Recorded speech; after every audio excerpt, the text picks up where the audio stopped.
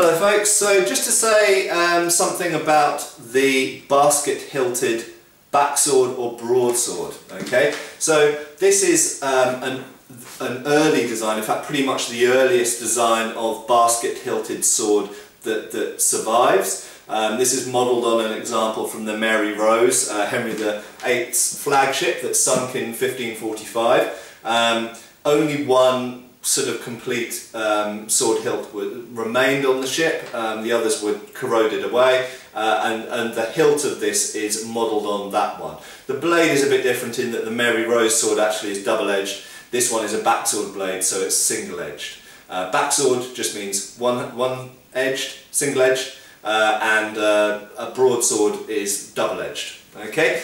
Um, so the thing to say really, and the point I want to make, I'll say some more about this weapon at some time, at some point, is that if you look at this and ignore these bars in the middle here, this is essentially a medieval sword.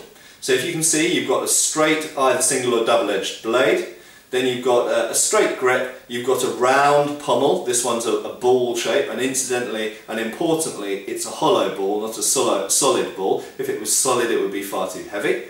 Uh, and then in the middle there, you've got a cross guard, can you see going through there? One quillon at the front, one quillon at the back. Um, so it is essentially a medieval cross-hilted sword, which has had bars added to it to protect the hand.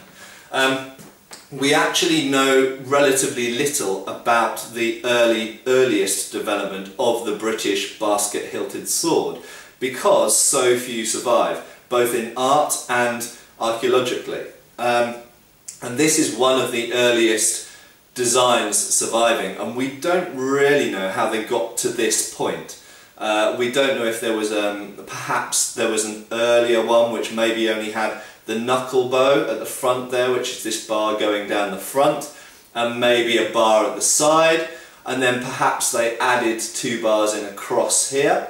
Um, maybe this is the vestigial finger ring uh, from the from the earlier side sword that I was talking about. We don't really know, we can guess. Um, I think what I've just explained there is the likely development of it and then they probably realised that you need a bit of protection on the thumb side so they added this bar which goes from the bottom of the knuckle bow up to the side of the rear quillon which provides good protection for the thumb there.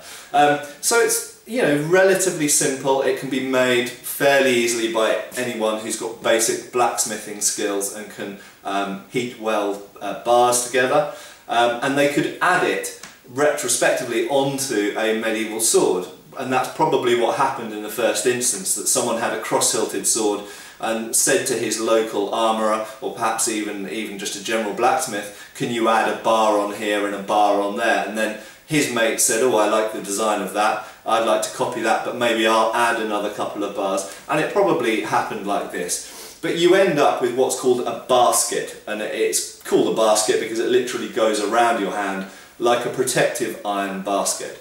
Um, and this style of hilt uh, became more developed, uh, more complete, uh, and uh, resulted in what most of you will probably recognise as the Highland or Scottish basket hilted broadsword, which incidentally is still carried today by um, officers of Highland regiments in the British Army as a, as a parade sword.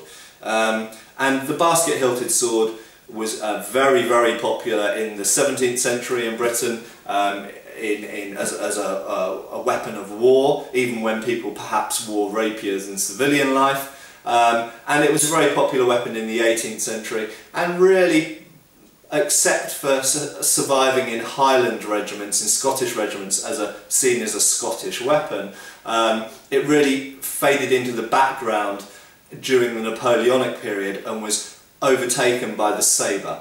Um, which was in some ways easier to produce, but it was also a question of fashion as well, because the sabre was a, a, style of sword that was more seen as more Eastern European and came with the development of new types of um, cavalry, for example, the, the hussars, uh, which were copied from Hungarian and, um, and Polish kind of models. Um, and so they copied their style of sword as well.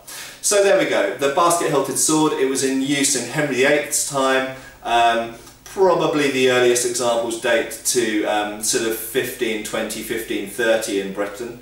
There were basket-hilted stars of sword on in continental Europe, in Germany and Italy as well, um, but I won't talk about them now. Thank you.